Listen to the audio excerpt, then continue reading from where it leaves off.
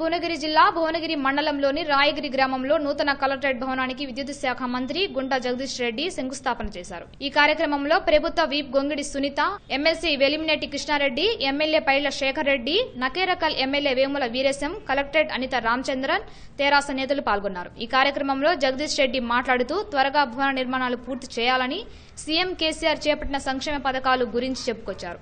చిన్న జిల్లాలతో రాష్ట్రం అభివృద్ధి చెందుతుంది అని ఆయన తెలిపారు.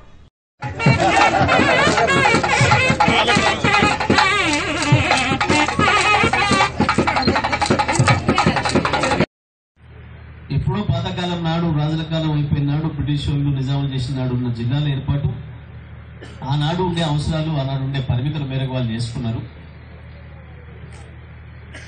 ఒకటి రెండు రాష్ట్రాలే భారతదేశంలో ఇంకా అట్టగా మిగిలిపోయినాయి. ఈ జిల్లాల పునర్విభజన చేసుకోకుండా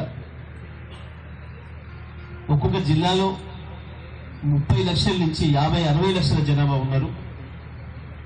కొన్ని రాష్ట్రాలు కూడా లేవు అన్ని జనాభాతోని అంత జనాభాతోని. దేశంలో చాలా రాష్ట్రాల్లో రెండు లక్షలు మూడు లక్షల జనాభా ఉన్నాయి కూడా జిల్లాలు ఉన్నాయి.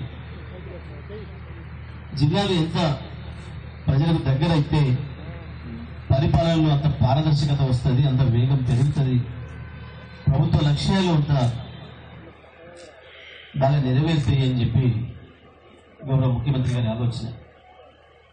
అందుకే టిఆర్ఎస్ పార్టీ ఎన్నికల మేనిఫెస్టోలోనే ఆ అంశాన్ని చేర్చడం. తెలంగాణ రాష్ట్రం ఏర్పడిన తర్వాత క్షేత్ర స్థాయికి జిల్లా అధికారులు ఎక్కువ సార్లు సందర్శించి